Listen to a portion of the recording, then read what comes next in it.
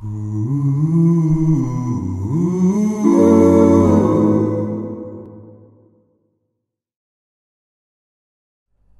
good friend of mine who goes by the name Sleazy Vegetable Joe or SV Joe for years has talked about how both parties are just completely corrupt and that one isn't any better than the other. And that the issues that get put in the forefront to the public are just sort of window dressing. And I was always wanted to look at it. Well, you know, they're uh, the Republicans are trying to reverse uh, any sort of social progress, and the Democrats are at least trying to push forth more social progress to some degree. But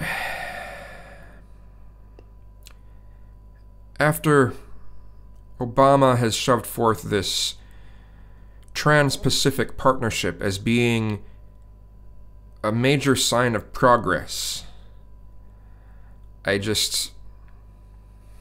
You know, you just have to look at uh, uh, Clinton with NAFTA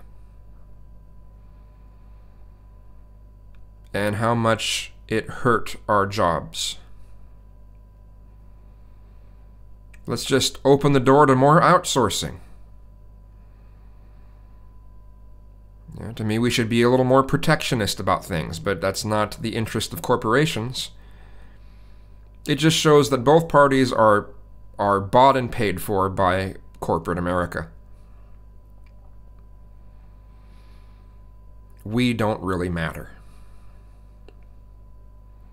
If they can pacify us with uh, by making it look like they're doing something good, uh, then that's what they're going to do.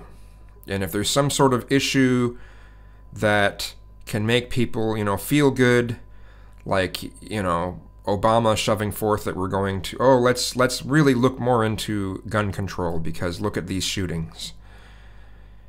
You know, he's going to shove that forth.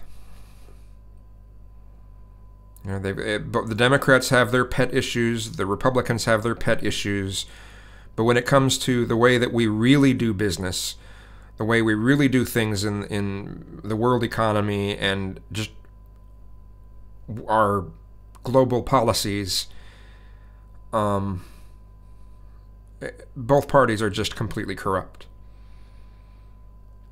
For me, Bernie Sanders is really the only hope I have left at this point.